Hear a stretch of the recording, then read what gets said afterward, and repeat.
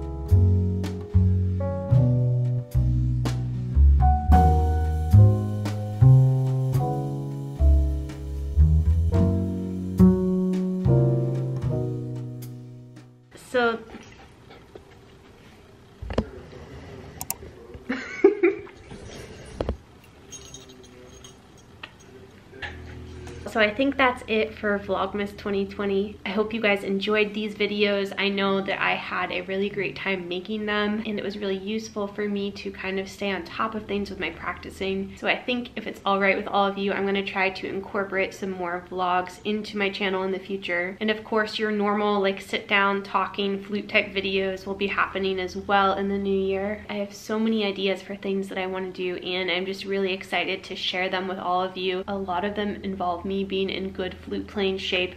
So we're gonna keep on practicing. So I'm just really excited for that. And I hope all of you have had an okay holiday season. I know it's just been really weird this year and, and I know it's been super difficult for many people. So I just hope that everyone is doing okay and, and hanging in there and I hope that these videos have brightened your holiday season in some way, shape, or form. So yeah, thank you all again so much for watching. I'm sending each and every one of you my love and my well wishes during this holiday season and I will see you all in my next video.